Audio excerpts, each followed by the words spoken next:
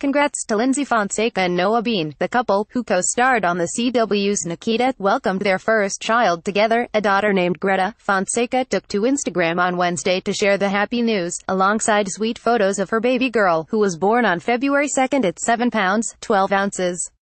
Our hearts are bursting, heart I am finally a mom, she captioned the slideshow. Fonseca, 31, and Bean, 39, tied the knot in October 2016, and announced they were expecting in September 2017. The couple has since documented Fonseca's pregnancy on Instagram, welcoming a baby girl just one day earlier was Kylie Jenner, who to her daughter, on February 1st. See more in the video below, related content.